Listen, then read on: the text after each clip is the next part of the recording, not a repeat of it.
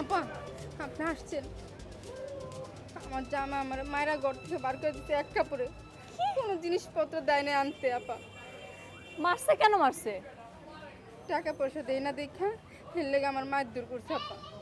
তুমি টাকা দিবা কেন? সে কামে করে না? না আপা কেমনে কাজ করব? সারাদিন পুরো ঘুমায় সন্ধ্যা হলে জুয়া খেলতে যায়। এরকম করলে কেউ কাজে রাখব? আপনি কোন? বুঝছি। জুয়া। তা তুমি কি চাও? স্বামীর সাথে থাকতে চাও? নাকি আলাদা হইতে চাও? আলাদা হইলে এক ব্যবস্থা যদি স্বামীর কাছে যাইতে চাও তাহলে আরেক ব্যবস্থা।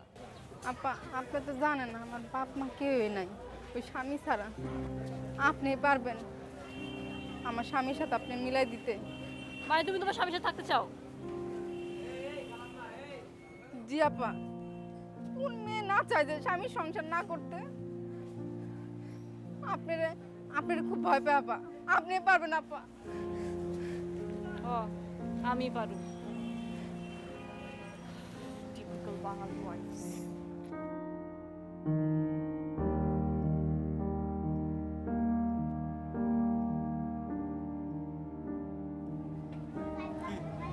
আমাকে ছাড়া কোনো কিছু করা যায় না হ্যাঁ?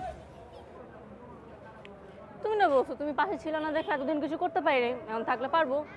তাহলে যে রেল স্টেশনে আমাকে ডাকছো আমি কি তোমাকে ট্রেনের টিকিট কেটে দিব এখানে এসে? ওর নাম রহিমা।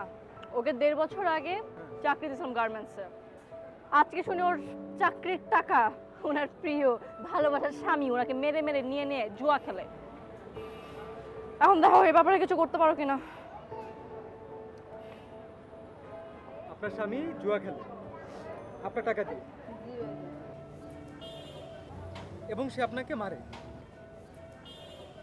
এর আগে কি অনেকবার মেরেছে আপনাকে? টাকা না দিলে মায়ের দূর করে। তাহলে আপনি কি ওনার কাছে ফেরত যেতে চান অন্য কিছু করতে চান? কি কোন ভাইজান? মায়া মানুষের স্বামী সংসারের কোনো জায়গা আছে আপনি কোন? তাহলে আপনি যদি তার কাছে ফেরত যান সে তো আপনাকে আবার মারবে। তখন কি মার খাবেন? আমার এই দুনিয়াতে কেউ নেই আমার স্বামী ছাড়া। আপনার আমার জামার লগে মিলাই দেন। এই মহিলা বলে কি? মানে উনি যদি ওনার স্বামীর কাছে ফেরত যান তাহলে তো আবার উনি মার খাবেন। এটা না তোমার কোর্ট না। আচ্ছা চাচ্ছে ফেরত যেতে আমি কি করতে পারো দেখো। আচ্ছা আপনি এখন কি মানে কি করতে পারি আমি আপনার জন্য? আপনি আমাকে বলুন আমি কি করতে পারি? আমার জামাইয়ের লগে আমার মিলাই দেন মিলাই দেন? আপনি ওই লোকের ঘর করবেন? ও my god! But I don't know what's the problem with this woman, man. Come, just, just look at her. She's just getting beaten up every Please, day. Off যাও তো। কিছু করতে পারলে করো নাহলে ফটো। তো আমাকে এখন কি করতে হবে ম্যাডাম আমরা ওদের বসিতে যাচ্ছি। যাবা?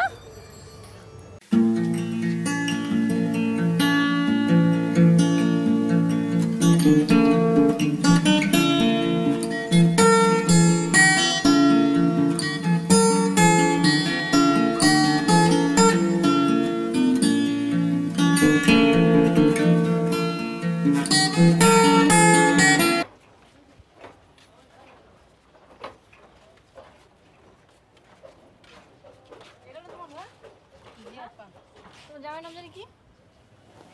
ইয়াসি ইয়াকুব। ইয়াকুব ভাই? ইয়াকুব ভাই? ইয়াকুব ভাই কি হ্যাঁ? ভাই কি? আই ইয়াকুব! ইয়াকুব ভাই হ! আরে কে দিও ও দল বলে হাজির হইছো? এরপর কি আনবা পুলিশ আর্মি।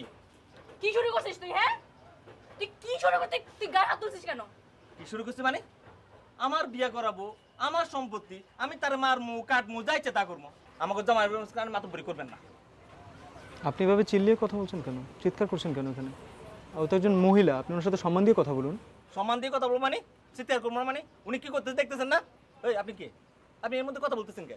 আমি যেই হই না কেন আপনি তো আপনার বউয়ের গায়ে হাত তোলার অধিকার রাখেন না। রাখি না মানে? ও আমার বিয়ে করাবো ওর আমি মার মারমু কাটমু যাইছে তা করব। কে কি বলবে? আপনি বলতেছেন কি? আপনি করতে গাইছে আপনি এর মধ্যে আসি কোথায় থেকে আসি ঢুকে পড়লেন? কে আপনি? আমি যেই হই না কেন আপনি আজকের পর থেকে আপনার বউয়ের গায়ে হাত তুলবেন না। দেখেন আমার এলাকায় এসে আপনি আমার ধমক দিবেন না। আমি যদি লোক ডাক দিই আপনার এখানে লাশও পাওয়া যাবে না। আপনি চিনেন আমারে? চিনেন না। তাও ঠিক আমি তো ওনাকে চিনি না। চাপো চাপো চাপো চাপো চাপো চাপো চাপো। এই গায়ে হাত দিচ্ছি কলা সারান। কলা সারান আপনি? কলা সারান আস্তে। সোজা মাথা। নারী এবং শিশু নির্যাতন আইনের সাতের বারো ধারা উনিশশো পঁচানব্বই সালে যেটা এসেছিল, ওখানে আপনি যদি আপনার ওয়াইফের গায়ে মানে আপনার বউয়ের গায়ে এভাবে হাত তোলেন, আপনার যাবজ্জীবন কারাদণ্ড হতে পারে। আর যদি আপনার হাতের মাত্রাটা বেশি হয়ে যায়, ফাঁসি হওয়াটা আসলে তার কিছু হবে না। আশা করি আপনি এটা বুঝতে পেরেছেন। ভালো জামাই, সুন্দর মতো থাকবেন, ওকে? আজকের পর থেকে বউয়ের গায়ে কখনো হাত তুলবেন না। যদি আমি কখনো শুনি যে আপনি আরেকবার আপনার বউয়ের গায়ে হাত তুলছেন, আইন পরে মারবে। আগে আমরা মারবো। ভিতরে যান? আপনি ভিতরে যান। যান। উনি আপনাকে কিচ্ছু বলবেন আর যান।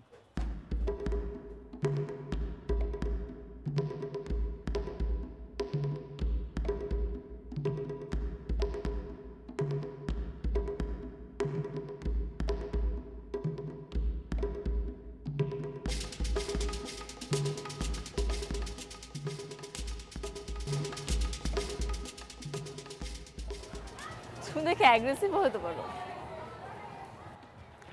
প্রয়োজনে হতে হয়।